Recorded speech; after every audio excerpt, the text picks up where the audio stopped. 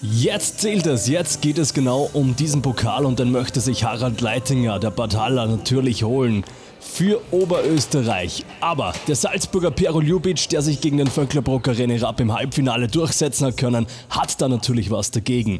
Wir sind in Leg Nummer 3 angekommen. Es geht auf 8 gewonnene und hier holt Harald Leitinger ein fulminantes Innenbull-Finish. Holt sich das 2 zu 1 mit einem Break. Und Harry Leitinger kann hier dann gleich erhöhen, muss hier nochmal kurz umbauen und geht dann auf die Doppel 2 und der Pfeil, der sitzt.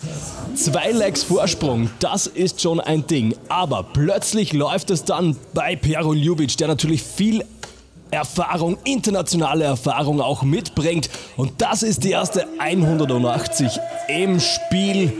Hier zeigt er also sein Können. 49 Punkte Rest stehen. Und Harald Leitinger tut sich dann ein bisschen schwer mit der Höhe, hier nur ein Triple und das soll sich dann auch durch den weiteren Verlauf durchziehen.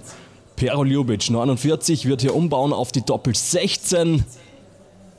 32 und das knipst er auch. 3 zu 4 das Anschlussleg von Pero Ljubic und er macht in dieser Manier auch weiter.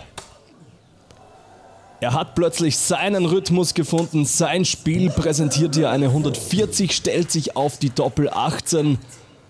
Und das wäre bei Harald Leitinger das höchstmögliche Finish. Die 170, die gelingt ihm nicht. Im Gegenteil, er präsentiert hier nur eine kleine Aufnahme mit der 55. Er hat so eine großartige Saison gespielt. Top Average und auch an diesem Tag gegen Fetti Kaya und gegen Alexander Steinbauer, gegen den Steirer hervorragend gespielt.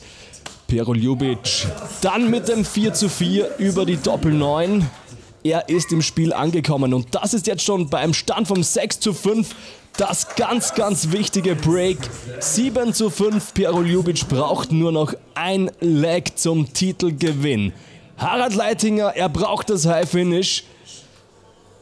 Das gelingt allerdings nicht. Und somit sind das jetzt die Matchstarts.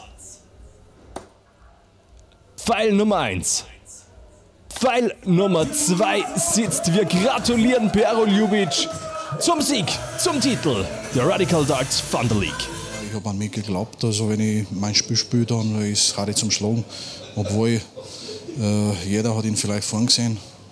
Aber ich habe gewusst, wenn ich mein Spiel spiele, dann geht sicher was. Also.